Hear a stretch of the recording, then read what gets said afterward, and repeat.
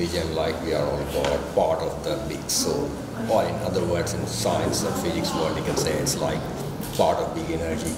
So if you see, like 100 years back, population of the world was in millions. Today it's billions.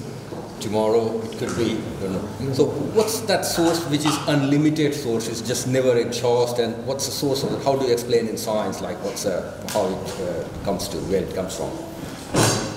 It's a very good question.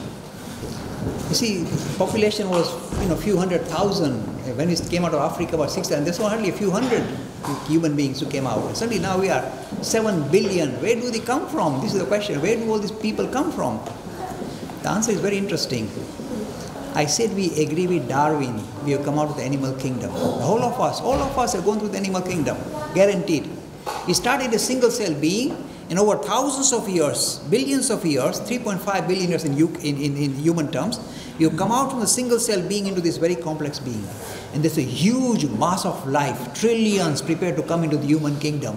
So sometimes there's Mr. Lakhani, where do all the souls come from? I say from the animals. And if I go to sixth form seminar and there is so I say, we come out of the animal kingdom, and somebody will get up and say, this guy, is a brute. It's just been kind of promoted from the animal kingdom. But the thing is, we have come out of the animal kingdom and we continue to evolve. And the population will continue to grow. Do you know why? Because we stick around here. We don't where else to go. So we get reincarnate again and again and again because we love this kingdom. We have fun, we have fun here. And I like chocolate cake, so I keep getting reincarnated. So we continue. That's why the mushrooming population in the human kingdom is huge amount. Still more to come.